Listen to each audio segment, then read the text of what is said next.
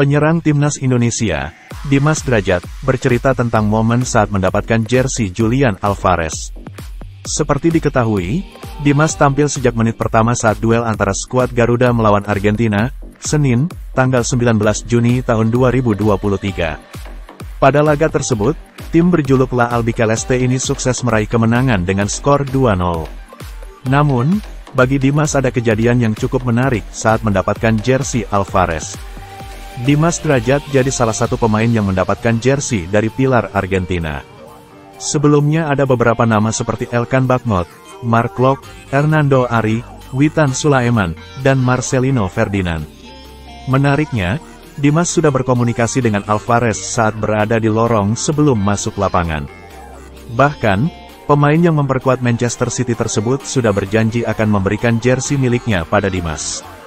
Ia waktu di lorong sebelum masuk ke lapangan saya bilang ke Julian, can change jersey with me bro after game. Dia bilang it's okay after game ya. In the locker room, kata Dimas Derajat dilansir bolasport.com dari laman kompas.com. Setelah pertandingan diketahui ada beberapa pemain yang juga mengincar jersey milik Alvarez.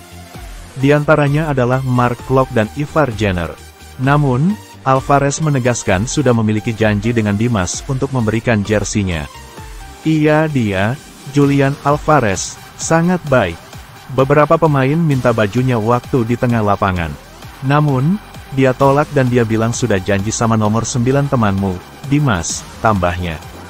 Mendapatkan respon tersebut, Dimas mengaku kaget. Pasalnya, Alvarez merupakan sosok yang suka menepati janji. Hal tersebut yang akhirnya membuat dia semakin kagum dengan pemain Argentina tersebut. Sempat enggak percaya dikasih tahu Klopp. Wah gila juga ini pemain kelas dunia segitunya, tambahnya. Pemain Persikabo 1973 tersebut memiliki alasan tersendiri untuk mengincar jersey Alvarez. Menurutnya, pemain berusia 23 tahun tersebut jadi memiliki prestasi yang cukup bersinar.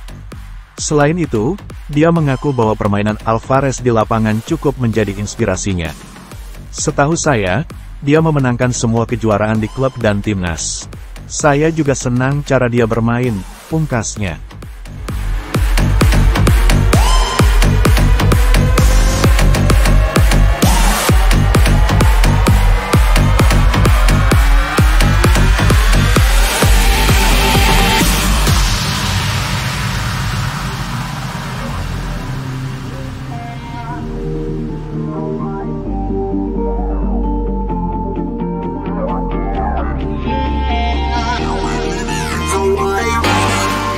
Terima kasih sudah nonton.